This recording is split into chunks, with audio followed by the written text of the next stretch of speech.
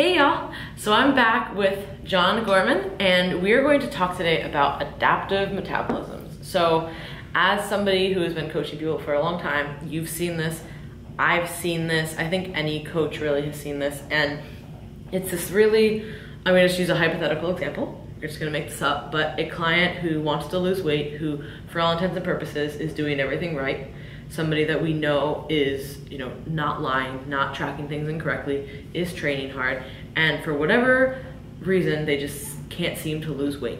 Now, in my experience, a lot of it comes down to just time spent dieting previously. Like past dieting history is huge for this. If you've yo-yo dieted for 10 years, don't expect to lose 30 pounds in you know a few weeks. you know, it's just not gonna happen. But if somebody is has taken all the right steps, like they've taken the off season, they've built up their calories, and they're just kind of in this like stubborn sticking point, and they are maybe more adaptive. What are kind of things that you would do as far as like unique approaches with like training, cardio, nutrition, supplements, things that you found that maybe work when you're kind of in these spots? Yeah, so this is something that's really, really common. Like yeah, unbelievably common so if you're listening, don't feel like you're the only person, I promise. Especially in females. Females seem to get hit with it a lot harder than guys. Um, yes. I, to me, that has a lot to do with the hormones that go up and down when you prep when you diet a lot. So it's one of those things where you definitely see it in, in females because I mean, it's one of those things like you guys have hormones that just every month, like they're mm-hmm. all over. So then you start throwing in long periods of dieting yeah. and hormones like they start to crash. Things like your thyroid hormone, leptin, mm-hmm. which helps fuel um, your your thyroid to some extent. Like all those things get out of whack. So it's it's definitely common. So I've seen a lot of clients over this is why I wrote my first book on. It's called Metabolic Capacity and Reverse Dieting. And I always tell people it's the most important topic that I that I can talk about ever because this is everything. Like mm-hmm. people need to ex- understand this. So maybe some of the, the, viewers out there, they're they're like, all right, that's me exactly. Like yeah. I'm training hard, I'm counting my macros. a female, I'm eating 1400 calories, for example. You know, I'm doing everything right, and nothing's budging. So I drop my calories and I add a little bit of cardio. And three weeks go by, and I'm like, crap. So I do it again. And three weeks go by, and nothing happens Usually, what I do is I qualify all my clients and I look at their dieting history before I'll diet them. Mm-hmm. So that's one thing. But if that's not the situation, what I normally look at is okay, so what's your dieting history look like and where are we possibly going to have to go? Because more yes. likely than not, if you're on 1400 calories and you're you've made two or three changes and nothing seems to be working, you're going to have to end up going lower than a lot of people don't want to go. And yeah. that scares a lot of coaches too. So like if you're a yeah. coach watching, that scares you because people were getting called out for years. So and so had me on 1100 calories and an hour of cardio and, and all these coaches are looking like they're doing something wrong, but they were working with what they had. Mm-hmm. And a lot of people, they have this situation. So the reality is the first step is you have to go lower on your calories. Mm-hmm. You have to accept that and you have to understand. If not, the only answer is one, go to the doctor and get your thyroid checked out because mm-hmm. you might actually be somebody that needs yeah. thyroid meds. But if it's not, you need to spend more time off so your body's yeah. away from unused to dieting. I've had clients I had to work two to three years with who were Weight Watcher yo-yo dieters, mm-hmm. ladies, okay. yeah. and it took that long. No one wants to hear that. No, no, I literally. No one wants to hear that. People come to me and they say stuff like that. I'm like, listen, here's the timeline, and for I'd say 90% of people, they they say they want it and then they, they really don't. And, and, and trust me, I understand how frustrating this is because there are plenty of people who do everything wrong and they don't have any of these issues. Yeah. I know a lot of them and they're very successful and they're very lean and they have a lot of muscle and they just eat like asshats and you're like, I don't understand. How is this not happening? And I know people who literally had like one bad, really harsh diet and their body is just like holds on to everything for yep. years. And it doesn't make sense and it's not fair, but that's just genetics and that's what some people have to deal with. So yes, the the one of the things I always ask besides dieting history is what did you do last time that you had to diet? And like John was saying, there are some people that are going to have to be lower calorie than others to get leaner. Mm-hmm. There are some people who can change that 100%, taking the proper time off, actually building the right amount of muscle mass, you know, having you know, all these kinds of things in place. But for the most part, when you diet, for most females, you're gonna have to get kind of aggressive if you wanna get really lean. If you're just a lifestyle client and you're getting really aggressive and you're not seeing progress, stop dieting. If you're doing a competition and you're a few weeks out and you're like, I really, really wanna like turn it up a notch, this is kind of who we're talking to.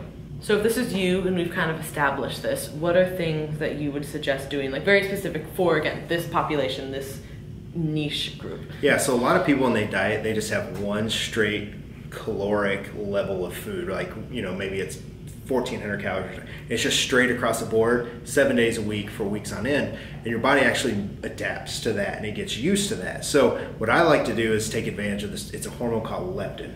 And what you do is you have a higher calorie day. Now that doesn't mean you blow it out. Like that this just means slightly yeah. higher. So um, an example would be, you know, if you're eating 1,400 calories, you might drop that down to 1,300, and you might have a high day on a Monday and Thursday of maybe 1500 calories. And what that does is that gives your, your metabolism a slight boost, just enough. And what that boost does, it actually helps speed your metabolism up to help fuel fat loss. So my first step is always to go from just a baseline diet with no high days to put in two high days are good. And you know, you can start with one if you're worried about it, but two are good because you can only boost your metabolism for a few days and then it drops yeah. back off. You're better to go ahead and boost it again, just in smaller amounts. So yeah. one to two high days a week, that's usually the first thing I do, and I let leptin do its job to get the metabolism. Yeah. Metabolism, everything as far as fueling fat loss. So that's the first thing that I do. Yeah, that's the, there's not really much research on refeeds, um, and one of the reviews that I actually was reading was there wasn't really much difference as far as like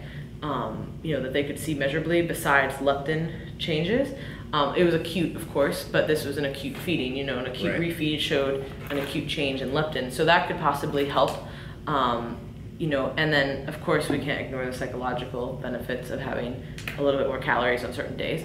Um, and then would you change anything with like training or things like that? So one of the things I like to look at is how much steady state cardio someone's doing. Like maybe they're jogging, maybe they're walking for an hour, they're on the elliptical. It's just steady state. And the thing with steady state is if it's high, chronic cortisol can can actually impair your metabolism mm-hmm. because what happens is like say you're going on a you know an hour high speed walk seven days a week which is very common especially for females mm-hmm. it just is what it is um, cortisol stays chronically high that actually downregulates your thyroid specifically t3 so then you have cardio is actually starting to work against you if you're doing high levels of it. So I look at that and I start to pull some of that back and let cortisol drop. And I like to utilize HIIT cardio because HIIT cardio actually speeds up your metabolism there was a study, and I don't remember where it was, but I saw that someone walked for an hour and they measured metabolic rate, and it went up like five to six percent. But then someone did like five hard sprints or something on a bike, like just five hard HIIT intervals, and measured their metabolism, and their metabolic rate actually went up 66 percent.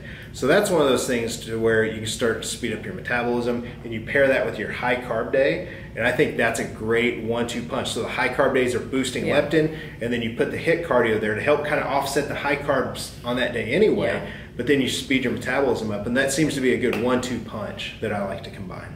Yeah, no, definitely that makes sense. And I kind of look at to um, some types of training as HIIT almost too.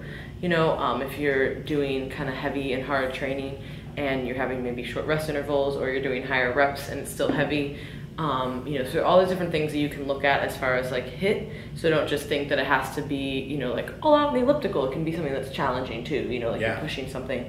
But whatever it is, like make sure you're going all out and that it actually is hard. um, that's the important part of HIIT. Like when people say, I'm, oh, I do HIIT intervals, like one minute on, one minute off, that's not HIIT. That's just intervals, which is fine, but that's not what we're talking about. Make sure this is like balls to the walls, all out kind of intervals, whether it's with weight or not, whatever kind of modality you're using um, so that's specifically what he's talking about. Yeah, I've actually seen, so I've seen my clients switch over from a bodybuilding split to CrossFit and they've left their calories the same and they got leaner just yeah. because of the boost in metabolism the and, and the type of yeah. training. So a little faster pace, circuit style. Yeah, and yeah. it's still, you're still lifting weights and it's not like, I think a lot of people, when they start dieting for a show or dieting in general, they, they get scared to like lift and they just think about cardio and dieting. Yeah. Um, but in reality, you really need to think about pushing yourself for training. Like that is huge because even if you're not building new muscle, you're still breaking it down and like repairing it. So that's yep. like energetically costly and that's going to help your metabolism just Definitely. in general. And this is kind of what we're talking about as people who are adaptive, we their body's thinking like three steps ahead of us, so we need to be like right there when it's going to. And those people do find that you have to make diet changes more frequently. Like if somebody just seems to be more adaptive in general, like you have to make more changes frequently.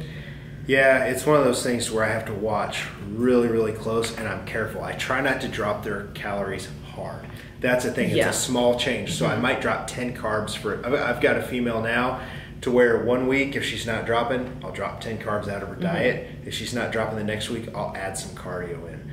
I never try and combine them because it's so much. yeah, at that's something. I, yeah, that's something. It's very tempting to throw all the gas on the Mm-hmm. fire, but then you run out of room and like you don't have any cards to play. Then Yeah. you're doing two hours of cardio and you're doing eating a thousand calories. Yeah. So I, I like really, I'm really careful with it, but it's like more like every two weeks I'm having to change Yeah, something. I know a lot of people like I have you know people like that, and that sometimes again that's just the reality. And then there's sometimes where you can get on a kick, and like your body's like, hey, I like this intake, and then you just kind of keep dropping. And there's other times where The sweet it's spot. not. Yeah, so taking all those things into consideration, you guys. Again, if you are you know, this is for people who, like we talked about, if you're the person in the beginning of the video, you have a more adaptive metabolism, and you're trying to like get maximize the end of your diet.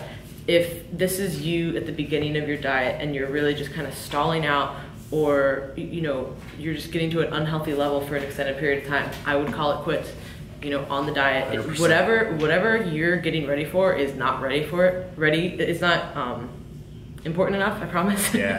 um, I don't know why I couldn't spit that out, but it's really not that important. Uh, put that into perspective. If it's a show, if it's an event, people are still gonna love you. People are still gonna care about you, even if you don't, you know, fit into whatever the hell you're trying to get ready for. And and again, I know it's hard because I'm a female and I've been there, and I'm like, oh my god, I'm gonna go here. I want to like lose a little bit of weight, and I want to. We, we've all been there. So, but your long term health eh, is going to be so important. I just talked to somebody the other day who spent over 10 years, it was like 12 years, up and down dieting.